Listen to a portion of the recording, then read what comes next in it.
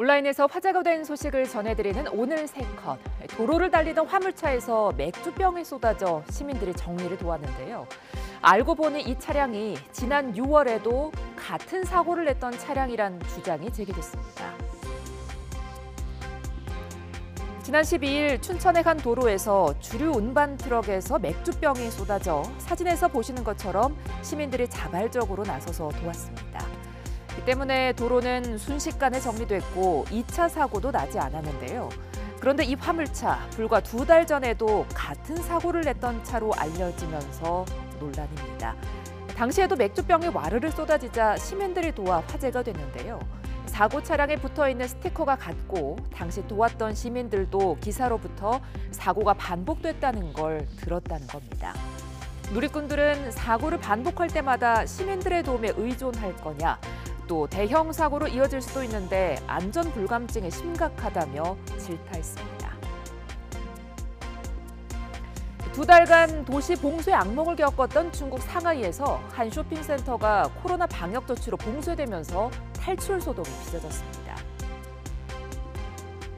코로나19 확진자의 밀접 접촉자가 쇼핑센터를 방문했다는 사실이 알려지면서 당국이 매장을 봉쇄시키려고 하자 빠져나가려는 쇼핑객들로 매장이 아수라장이 됐습니다. 매장에 갇히게 되면 이틀간 강제 격리를 당하고 이후에도 닷새간 검사를 받아야 하기 때문이죠. 결국 탈출하지 못한 사람들은 저녁 8시경부터 자정즈음까지 갇혀 있다 호텔로 이동 조치됐다는데요. 무리한 코로나 격리 조치 때문에 오히려 사람들이 다치는 대형 사고가 나는 건 아닌지 모르겠습니다.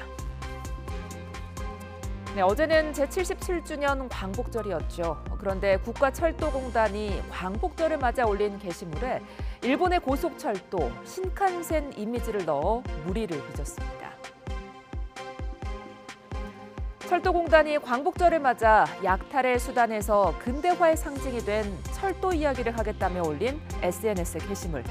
하지만 이미지엔 KTX나 무궁화호가 아닌 일본의 신칸센이 등장했습니다.